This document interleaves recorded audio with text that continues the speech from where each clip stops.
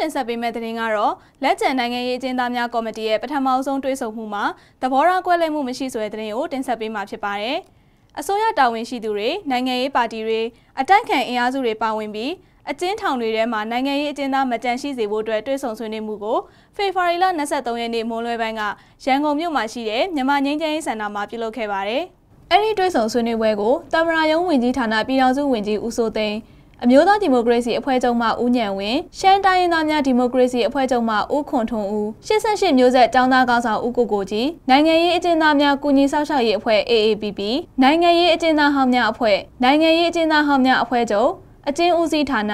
စုံစမ်းစစ်ဆေးရေးဦးစီးဌာနနဲ့မြန်မာနိုင်ငံရဲတပ်ဖွဲ့အစရှိတဲ့လက်ကျန်နိုင်ငံရေးအကျဉ်းသားစစ်ဆေးရေးကော်မတီအဖွဲ့ဝင်တွေတက်ရောက်ခဲ့ကြပါတယ်။တွဲဆောင်ဆွေးနွေးပွဲပြုလုပ်ရာနေရာကိုသတင်းမီဒီယာတွေဝင်ရောက်ခွင့်မပြုခဲ့ပဲ တွဲဆုံဆွေးနွေးပွဲပြီးစီးမှသာ88မျိုးဆက်ចောင်းသားကောင်းဆောင်ဦးကိုကိုကြီးကမီဒီယာတွေနဲ့တွဲဆုံပြီးဆွေးနွေးမှုအခြေအနေတွေကိုအခုလိုပဲပြောပြခဲ့ပါတယ်။လွတ်ချင်းမလွတ်ချင်းကဒီအုပ်ချုပ်ရေးအခွင့်အာဏာရှိတဲ့တာဝန်ရှိတဲ့သူတွေနဲ့ဆိုင်တာပေါ့ဒီကော်မတီကစစ်စစ်မှာပဲเนาะဟိုနိုင်ငံရေးအကျဉ်းသား ဘယ်နှယောက်ကြံတယ်ဘယ်သူတွေဘယ်သူတွေဆိုတာကိုအဲ့ဒါကိုဝိုင်းပြီးတော့နောက်စည်းဝေးတွေမှာဆက်ပြီးစစ်စစ်ဖို့ပေါ့နော်စစ်စစ်ပြီးတော့ဒါကျွန်တော်တို့စစ်စစ်ထားတဲ့စည်ရင်းကို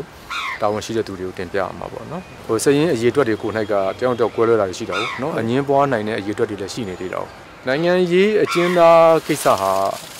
ဒါတာမန်လူပုဂ္ဂိုလ်တွေလူရေးတဲ့အများကြီးလေးနေပါတယ်နော်ဒါအမျိုးသားပြန်တဲ့တင်းမြရေးတစ်ခုလုံးနောက်နိုင်ငံကိုအစ်စ်ပြန်မွေးဖွားဖို့တိဆောက်ဖို့ကိစ္စမှာနိုင်ငံရေးအကျဉ်းသားကိစ္စဟာအဓိက